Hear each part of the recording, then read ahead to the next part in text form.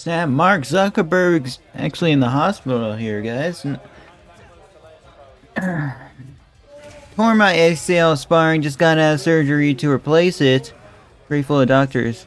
Wow, look at him in it like a gajillion dollar machine. This is not something I would get at my local hospital, maybe.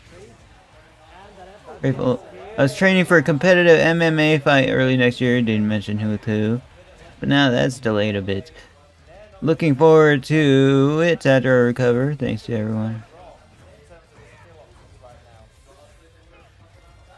Dang, so is he not gonna battle Elon here? Yeah, bro. Uh,